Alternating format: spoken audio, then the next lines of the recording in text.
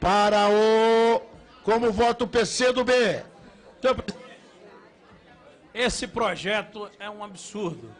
E o substitutivo, como diz na Bahia, a emenda foi pior do que o soneto.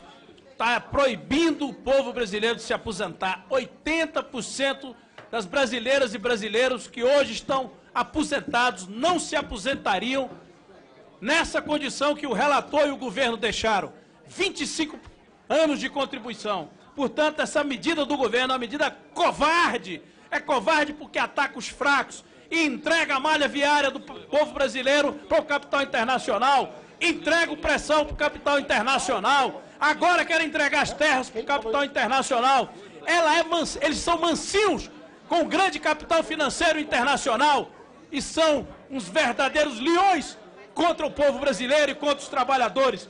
Portanto, esse governo é covarde e ele soterra o andar de baixo, que não vai ter acesso à aposentadoria e nem ao sistema de assistência social, que é o maior sistema de distribuição.